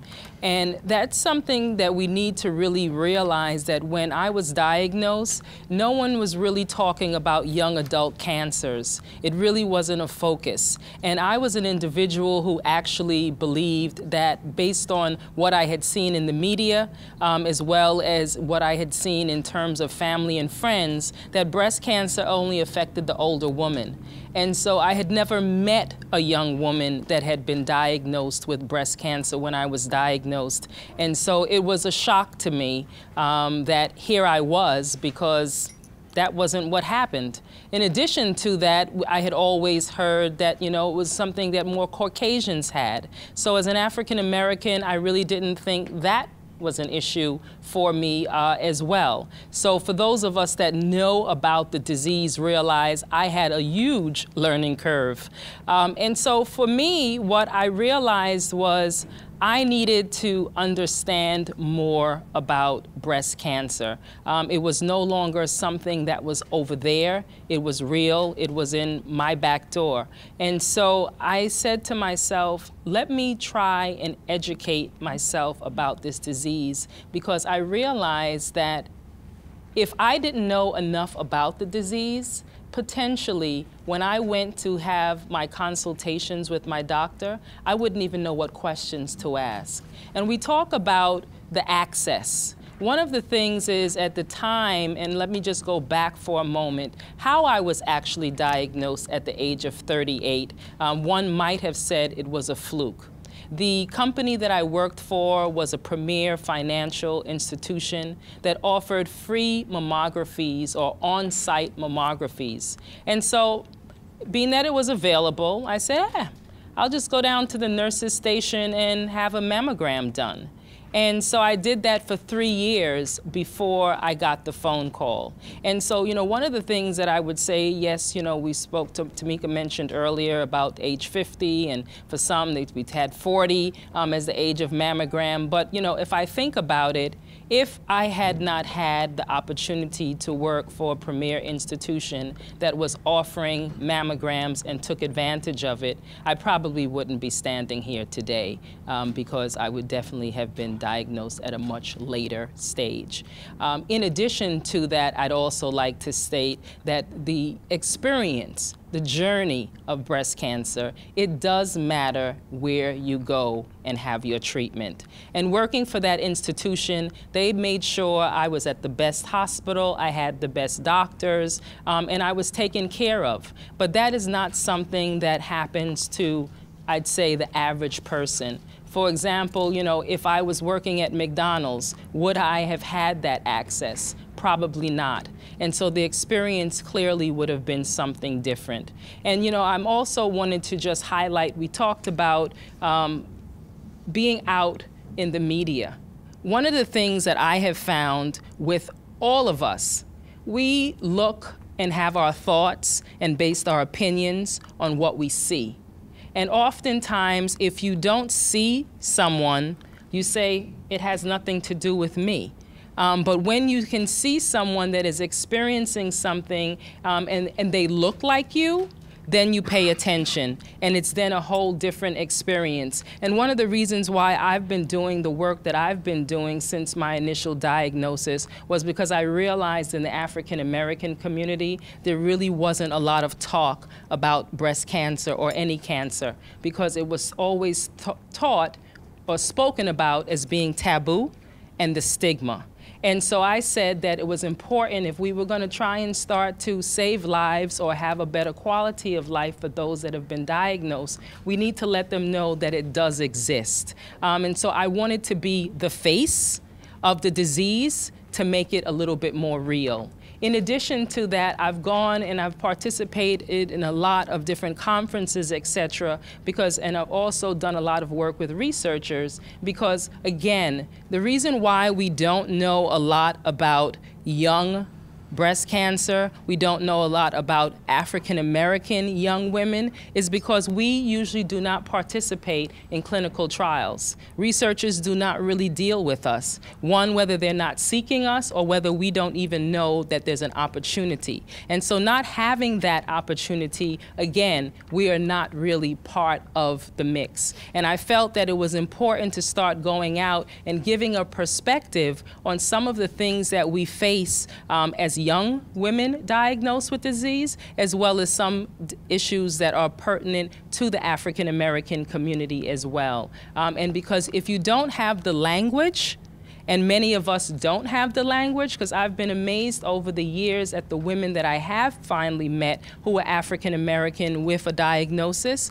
Many of them did not have the jargon that was needed when they went to the doctor for the first time. They went through the process very quickly. I fortunately had already had my children. I weren't I was not planning on having more children, but no one ever spoke to me about the infertility that would potentially come from the adjuvant therapy. No one really spoke to me about the option of even having eggs frozen if I wanted to potentially have children at a later stage. And so these are the things that, you know, whether or not the doctors are too much in a hurry or don't think that it's necessary to talk to you about it, but I think that it's so important for us to realize that it's real. We need to have transparency. We need to have full disclosure so that we can know what our options are and we can be educated with the decisions that we're made. Because one of the things that I often say is that, you know, in the media, we either see the really sad part of breast cancer or we see the really positive, but we really don't see the in between. And I think that it's so important that if you're going to talk about a disease, you really need to give people an understanding of what that journey really is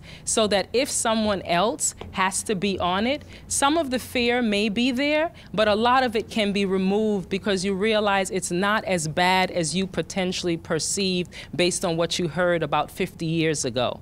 And so one of the things that I would just like to say, you know, in closing, um, I actually started a support group for women of African American, African, and Caribbean heritage because in my outreach, I was often asked the question after I did presentations on breast cancer well, where do I go to a support group for women that look like me?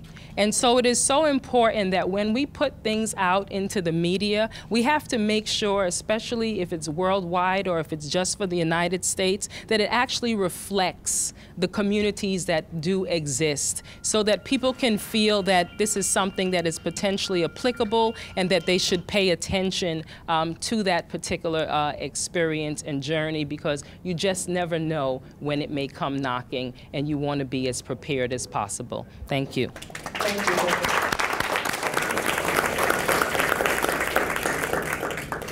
I think that's a good thing to take note of as creators and writers that not only just to portray the person and the disease itself, but to be able to sort of put doctors on notice and, and, and let people know what they can and should be asking that they didn't know. Like that is such an amazing thing that we can do. You think so much about putting the face there, but being able to watch a show where it's like, oh wait, I, I can ask to uh, I need to ask about you know fertility. I need to ask about what this stuff is. That's a really good point. and thank you so much for sharing your story, um, Dr. McDonald Mosley. You work for an institution that I often refer to as a national treasure. Um, I I spend all of my free time fundraising for Planned Parenthood. Thank you. It's what I do. um, because I feel like without having affordable access to all of these things, uh, whether it's breast cancer screening, whether it's abortion care, um, people cannot control their destinies. And it is first stop to making sure that people who need affordable health care can have it. So thank you. Um, we all know the assault that Planned Parenthood is constantly under by the myriad of places, including funding, including people. Um, tell me about your perspective. Uh, it's such a disconnect between what Planned Parenthood does and the sort of way that these people are defining what Planned Parenthood does. Thank you for asking that question, and thank you for being such a huge supporter of Planned Parenthood. I It's so important. love I appreciate it. people not having children when they don't want to and preventing it. It is my favorite. It's a novel in the world. idea, isn't it? My favorite thing in the world. Um, but I'm glad you asked that because it connects to a couple of the conversations today. And number one is just sort of this issue of like, well, what do we do? Who do we talk to? Who talks to young women about breast health and sort of what the screening is supposed to be for young women, right? Like we know 40 or 50 years old, depending on which guideline you follow, you're supposed to get your mammogram. But what about before that? And that's what we do. So we're the ones who talk to young women about breast health and breast awareness. We do clinical breast exams, identify masses early, and refer people. Um, and we give them the right language so we don't scare the crap out of them such that they don't want to get that follow-up test. You know, and say, likely it's, it's probably nothing, but let's be sure, and I'm going to guide you through this. I'm going to help you through this and make it comfortable for them. So in the real world, what Planned Parenthood does is we take care of our patients. We take care of men and women. We give them opportunities to learn about their bodies, to make good decisions, to learn about healthy relationships, um, to make positive health choices, and when they have made bad health choices, to help them figure out what to do about that. Um, that's what we're here for. And one of the things that Valerie mentioned, I just wanted to briefly talk about, is this issue of unintended pregnancy. In the United States, 50% of pregnancies are unintended. And um, that is way more than many, many countries, and it's unacceptable. And there's so much more that we can do about this. Um, in the United States, women who use reversible methods of birth control are mostly using what? We're using pills and we're using condoms.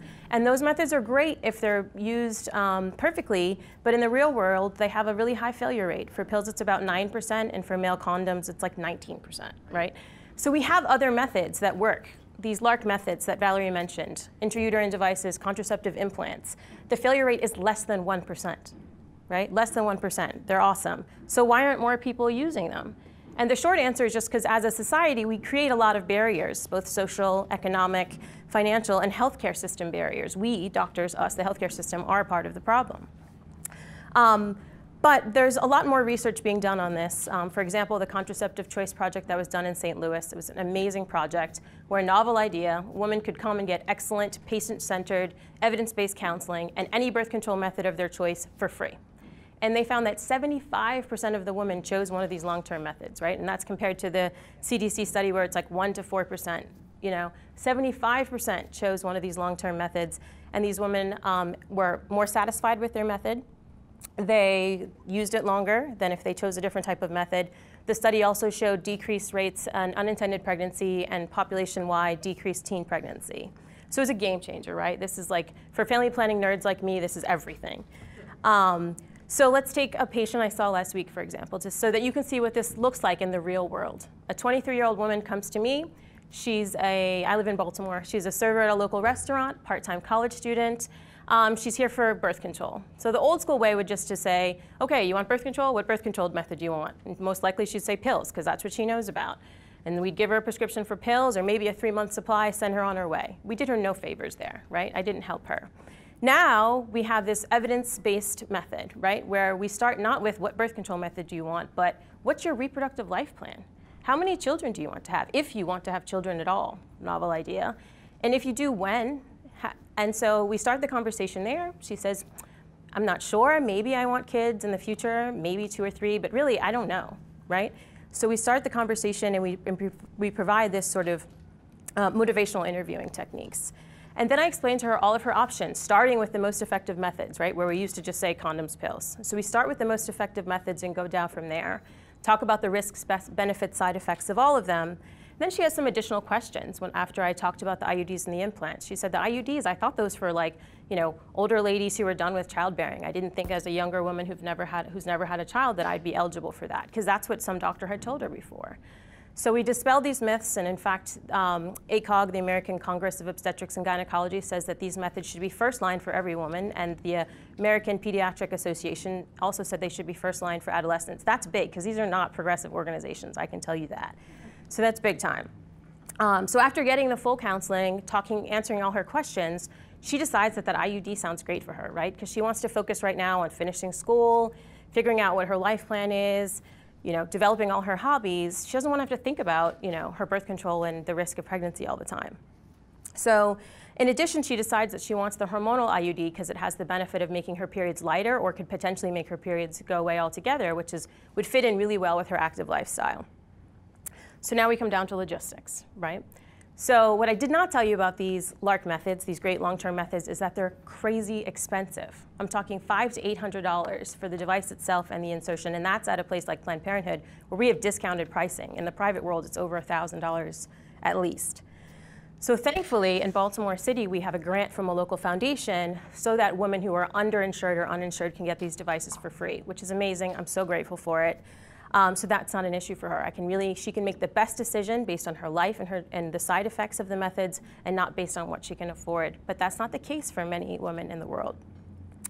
So then we do the insertion. We talk about, you know, she might feel some cramping, but with supportive measures, some medication, Motrin, usually women tolerate very, very well. It's important to use condoms for sexually transmitted infection protection, protection in addition to getting the IUD. Um, but she gets her IUD same day. She can be doubt-free with her IUD for the next five years and really focus on all the things that are important to her. Finding her lifetime partner if that's important to her, finishing college, figuring out what she wants to do with her life, but she doesn't have to worry about getting pregnant, which is really, really cool. So this is something that people just really aren't aware of, and I think it would be a great thing um, to see in more of these entertainment modalities so that we can increase awareness because we can do something about this unintended pregnancy rate. We've seen in these study settings that it works um, when more women have access to these LARC methods, and more importantly, we've seen that when women have access to these methods for free, they actually really, really want them. So I'd love to see if you guys have any questions about that, and I thank you so much for the opportunity to be here today. Awesome. Um, I know it, there's a lot of misconceptions. We're actually doing a video where we're taking I'm Just a Bill from um, Schoolhouse Rock, and we're doing I'm Just a Pill so that people can, like, because they don't know that they can access Plan B anywhere and that it's sort of dismissing the whole it's an abortion thing because turns out science says it isn't, funnily enough. It's not amazing. Science is something we don't listen to often enough when we're talking about healthcare because that's fun. Um, finally, before we get to questions, Jean, you have been working in a medium daytime that is incredibly influential and yet dealing with these kind of issues especially reproductive health issues has been when i read what i read i got a little freaked out and then I got mad. And I, and I know that you feel the same way. So dealing with abortion and dealing with really like strong reproductive health care issues is, is almost impossible for you, for you to put in narratives. Can you talk about that? Well, I think that um, uh, I don't know where the problem really arises. I think in some ways uh, the soaps have been uh, stuck in, a, in time. You know, they don't seem to be progressing uh, as, as much as, as other forms of entertainment and in terms of what the, the sponsors, the owners of the show, whatever, are willing to uh, portray, which I think is a, a, huge mistake for a lot of reasons, but mostly because, as we all know, it, soaps are in peril. They're only, when I started writing for soaps 20 something years ago, there were 12 shows, now there are four. And um, it's still a lot of time, you know, five five hours a week. So there's a lot of coverage. There's a lot of sexing it up too. Yeah, there's a lot of sexing it up, but not as much as you might think. I mean, there's a there's a weird double message that's always existed in the soaps, which is, yes, we're all about romance and sex, and we want hot guys, and we want you know hot, hot, hot, but be careful because kids come home in the afternoon. So you know, be sure that you you know get moralistic about this as much as possible. So you know, there's sort of two messages at the same time. At 2:45, a lesson right. happens. Yes, right, exactly. Um, and you know, I, I, but I will say, um, you know, in terms of the issue of abortion, I, I, I don't think we're alone. It's we being soap opera writers in having difficulty portraying that issue. I think it's, uh, I think it's gotten better. Uh, gotten easier to, to maybe raise some of those issues, but it is still pretty much, uh, in my experience anyway, I've never gotten away with telling a story of any character having an abortion, even a monstrous, you know, slutified character. Um, and I, you know, when I started out, I, I had all kinds of ambitions because I, I was raised in a family that was very pro-choice. My mother actually was a, an abortion counselor at Reproductive Health Services in St. Louis before it became part of Planned Parenthood. And that happened because, um, I'll just tell you this quick story. She, in the early 60s, my father was a doctor and a, the mother of a friend of my older sister's called my mother to say, uh, look, I know abortion's illegal, but my 15-year-old is pregnant. And your, your husband's a doctor, does he know anyone who would do an abortion? I think she wanted my mother to say, oh, he'll do it, but he wouldn't. Um, but she said, I have no idea, but I'll see what I can find out. And my mother, bless her little heart, got on the phone and called, of all things, the AMA and said, do you know any doctors who will perform abortions? And they said, sure, here's a list seriously. And um, I'm sure there's more to this story. My mother was a great storyteller, but she left out a lot of details that I, that I do want to research at some point. Anyway, long story short, my, that my mother went with the woman and the girl, the, the young woman, the 15-year-old, uh, to a, a, a, part of St. Louis where they'd never been before, downtown, at night, I think it was like 10 o'clock at night, to a gas station where a, a, strange man drove up in a car and took the girl, it would not let her mother go with her. So my mother sat there in a car and watched with this woman as her young daughter was driven away with a total stranger to she knew not where. And that was what prompted my mother to want to be involved once Roe v. Wade happened and she just felt very strongly about the need for safe and, and, and legal abortion if that's the choice that's made. So I was full of all sorts of ambitions about wanting to tell a story that was sort of a community story. And I think one of the great things about soaps is that because we have so much time to fill, we have five hours a week and you know no hiatus, and it's three you know all year long, 52 weeks.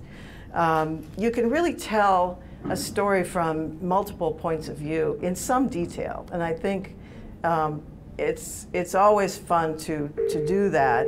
Um, and it's uh, an unusual way of doing You give much more time to characters who ordinarily might be kind of um, on the sidelines of a story. You get to hear their points of view. So I thought, wouldn't it be great to do a story where, like as happened to my mother, you know, a, a woman gets sort of pulled into something and I, in my scenario, you know, she becomes a volunteer, and the, the clinic where she works is attacked, and then there, you know, you also play at the same time the reasons for whoever's getting the abortion needs to have the abortion, but you also want to play the points of view of the parents and the whatever, and not leave out the other side of the argument, which is those who sincerely believe that it's uh, it's wrong, to give them a chance to to speak. Um, and that was absolutely uh, re uh, rejected out of hand, could not do that story. And then I thought, okay, well, maybe there's too much politics in that story, maybe just play the human story. And so the little piece that you saw of um, As the World Turns was actually years after this uh, rejected story. Um, and it was, um, I would say, partially successful in accomplishing some of what I wanted to do. That's my reserved um, uh, response to that. In that, as I said, we had lots of points of view. We had the, the, the difference, what, one of the things we wanted to make clear was the, little, the girl who was supposed to be 17 uh, did not, uh, had thought it through very carefully, knew that having a child would absolutely interfere with her life and that she could not possibly be a competent mother to this child, nor did she feel she could carry a child to term and give it up for adoption. Her mother was a devout Catholic. We played, we had played that before, and her mother, when she found out, wanted to, her to keep the child. And then there were a lot of other characters involved. There was the ex-husband of the woman and the kids, the boys' parents, and everybody had a point of view. And we had the, the other complication, which was that, um, which is sort of hinted at at this, but uh, the show allegedly took place in Oakdale, Illinois, and in Illinois uh, there uh, is a law. Uh, I think it's a 48-hour. Um, you probably know it, waiting period. I think they have 24. Oh no, it's a, is it 20? It's it's but there's a parental if you're Mm-hmm. It- underage. it- Yeah, there's a parental Your, per, your, you, your parents can't say you can't have the abortion, but they have to be notified. They have to be notified. Anyway, so that we, we had to play that. These kids got around it by getting a, an influential character to bribe a judge and get I don't know what we did. I can't remember. no doubt money changed hands. Um, and uh, unfortunately, and you're all going to moan and gag when I tell you this, we were not allowed. I, my main goal was to have this child, in my mind, she was a child because my daughter was about the same age at the time, um, have a, a reasoned uh, point of view about why, why she needed to make this choice. And that she listened to other points of view, but ultimately stuck to her guns and was going to do it. And um, well, I was able to pull that off up until the very last minute. The one thing I wanted to avoid uh, was the final decision oh, no, I think I'll have the baby after all. I didn't want sentimentality to get into it. But since we, we couldn't give her the abortion, she, of course, fell down and had a miscarriage. And- because that seems to be the default thing. that, Women are you know, so clumsy. They're so clumsy, and Just their uteruses falling. are so delicate, you know, that, that thump on the ground crazy. just did it. Um, so that was very disappointing to me. On the other hand, um, I look back at it and I think, okay, we were able to, to play weeks of, of hours a day in which the discussion uh, happened. And it happened in a way that was responsible. And I think that's really, at this point, maybe it's a lot. I don't know. I will say that just to sort of sum up everything I'm hearing, um, that you know, th- what everyone is saying in one way or another is we have to have the conversation. And I do feel, uh, even though, you know, in, in the soap, we ended up in a kind of ridiculous, melodramatic situation, which so often is the case, uh, kind of dictated by both the, um, the tropes that we all recognize as soap opera, but also the nature of having five shows a week. You know, you've got to keep it going. So, you know, you have to be able to get to whatever the next story beat is going to be, and that has to take you somewhere new. Um, but the we did have the conversation, and I think that um, we obviously we, we have to keep doing that, be that it that story or a story about sexual assault or a story about cancer, all of which have been covered on the soaps with varying degrees of success. But we have an enormous opportunity to communicate with all that time at our disposal. So if we can just keep the shows on the air a little bit longer, I think if we come at it the right way, we can have all these kinds of conversations that we're all talking about and recognizing the need for. Great. Um, we're going to go to questions, and I just want to wrap up, um, um, just buttoning it all up before we go to questions. One in three women in her lifetime will probably have an abortion, and one in three. And so I know I'm like the comedian with the facts over here. I'm like Susie, fact.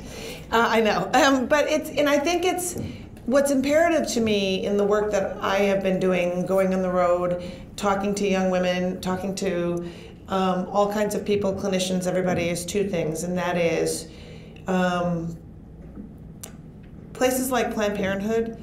Uh, they are under assault, and they're providing a service, and they also have become the number one advocate for themselves, which I think is wrong. I think that when you're providing the health care, um, the people who have used Planned Parenthood, independent clinics, um, need to stay involved and understand that sometimes people, that is where they'll go, and that is where they'll go always. And we can't have the people providing the health care also being their own advocates and also telling their stories. It's not right. Um, and second of all, I just want to say that um, because of that one in three statistic, people have abortions for a myriad of reasons. And the reason that should be accepted is because she, needed an abortion. That should be the reason. And when we start parsing words and doing storylines that are always, well, she was raped, so she can have that kind of abortion because that's the good kind of abortion, it really makes women have self doubt when the decisions that they made to terminate a pregnancy fall into the other camp, fall into the bad kind of abortion. So, in when we get to a place where we can really talk about abortion in a way that's about having one that's a part of healthcare, um, I hope we can do it, you know, where it all of a sudden it feels really organic and natural. So I just want to say that. So um, thank you all for coming, and now let's open it up for questions. With all these really smart people, I think we should try to get some questions in. Do, do people have questions for our panel? Yes. Yeah, uh, obviously, uh, based on the statistics, there's an epidemic of sexual assault on campuses, and yet, sort of ironically, two of the biggest media stories of the past 15 years have been the Duke rape case and the University of Virginia, which were narratives that ended up being about um, false accusations and rushes to judgment. So I'm just kind of wondering how, we don't have anybody from the news media here, but how, it, how are those narratives counteracted? Because you don't really hear too much about um, legitimate so-called rape on campus in, in that sort of big sense.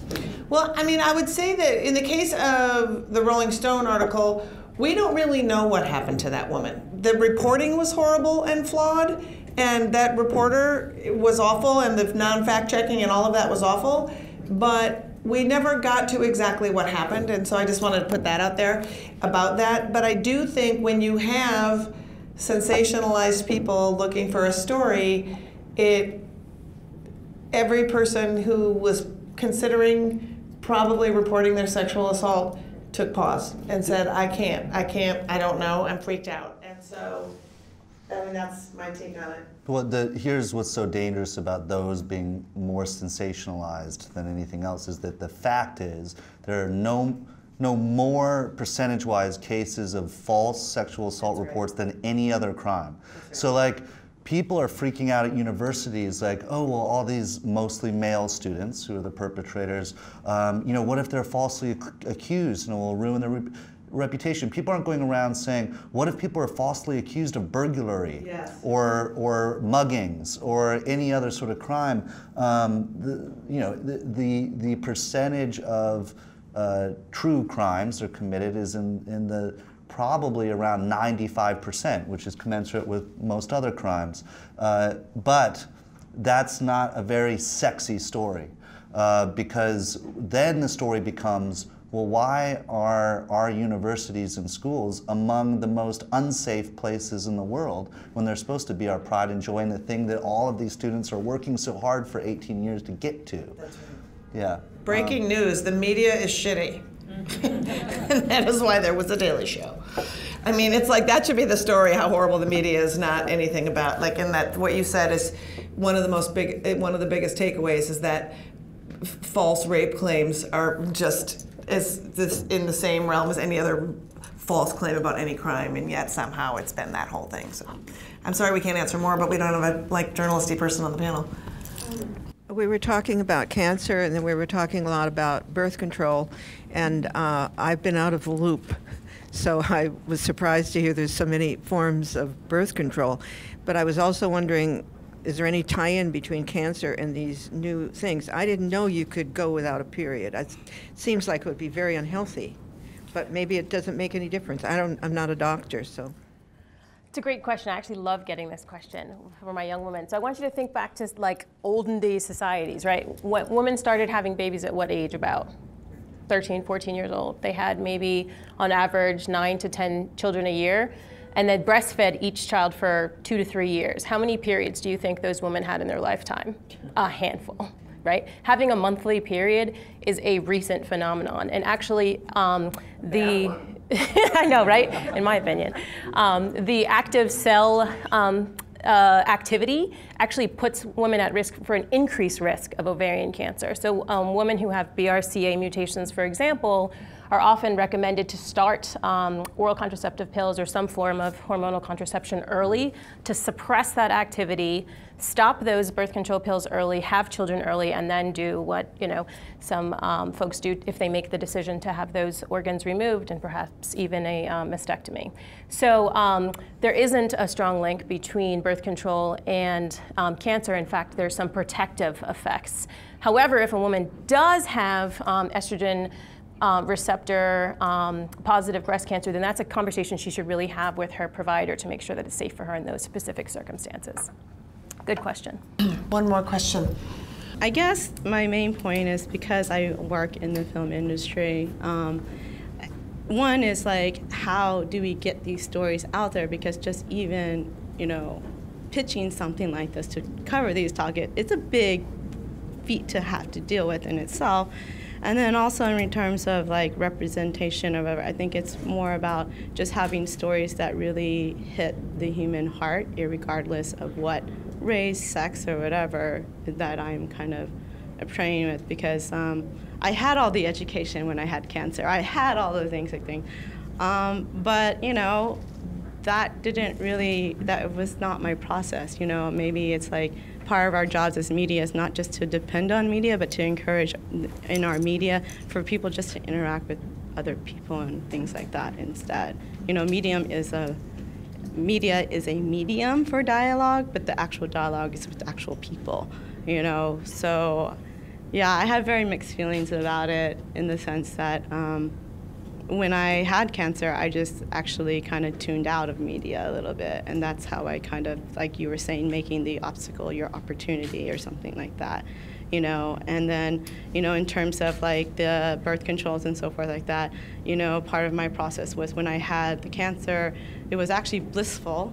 But then afterwards, I was, you know, uh, what's it called? Um, clinically depressed from all the hormone changes. So I was experiencing um, puberty and menopause every month, and that was pretty crazy, you know. and then like you're fearful of your your job and things like that. And then in terms of the assault, I just feel like it's even deeper because let's talk about family sexual assault or something like that. It's really not about the sex, it's about the power and the violence of human beings. And so, how can we convey overcoming violent, I mean, you know, the personal violence that you would inflict on another person? That's all. I don't know if that made any sense or any value or a question, but that's the question I ask is how, as us as media makers, make people do the dialogue with other people and not so much depend on the media. I guess for me, I just decided to start this crazy nonprofit because of the very reason that it's really hard to talk about some of these issues and do it through a humor lens. Um, I, I called in all my friends and I said, I know your sex life. You're going to work with me on this project. and they were also big support. But, you know, I just, I kind of was like, I can't, you try, and, and it's hard because you do that struggle also with, you, you work in commercial media, right? And so they get to say and they get to have their say in what they do. But also, if you're a creative person and you're a writer and a, you no longer sort of have the pass of not knowing how to use Final Cut Pro a little bit and making graphics a little bit and being able to put some shit out there that can make some noise. Because I think the first thing we have to do is prove to people that the noise that we want to make is something that people want to hear. And so when they see a video that you make on a topic that you love gets a million hits, like I did this video with Sarah Silverman where Jesus comes to visit her and it's Jesus is the guy from NCIS, and she's talking about birth control, and he's, Jesus is like, no, life begins at 40, and it's really funny, but it really talks about all of the clinics shutting down in Texas. You know, that is something that people watch and they go, oh, you can actually use humor to talk about reproductive health and even abortion, and all these bad actors are out there, and so I think as creatives, if we care, it's incumbent upon us to take some of those steps that are outside of what they always have to be shown that it works. They are not smart. We are smart. We're the ones that make things. The people that buy things are stupid. For the most part, I think we can all agree on that. And so we have to continue to show them constantly that. So I think, I hate to say it's incumbent upon us, but it's incumbent upon us to like take some steps to do stuff and and in a larger place it is. And I've been going at this for about a year, and I think I might be actually taking this website that we did into a bigger realm because somebody saw the value in shitting on bad guys. Because that's what we're doing, we're shitting on bad guys, and they deserve it. And sometimes people don't know they're bad guys, but sometimes you gotta like put it out there. People who don't care about breast cancer, what women are going through, they're bad guys. Expose them as such. People who don't care about reproductive access, they're bad guys. Expose them as such. People who want to claim that women fake rape, they're bad guys. Expose them. So, you know, that's just, that's my opinion. Anybody else, guys? Talk it up. Amen. You're in? A- Yes. Amen. Amen? Amen. I thought you said I'm in. I'm in too. I like that. That, that works. Beau, But- what do you got? No, I've already done too much talking. No, you're very smart. Um, all right, well, we have to wrap it up, but um, thank you all for coming, and thank you guys. You are all just tremendously smart and insightful, and thank you for the work you do. And thank you, Oh, I just blabbed on and on. Thank you guys, and um, keep talking about this stuff, and thank you for all the good work you're doing.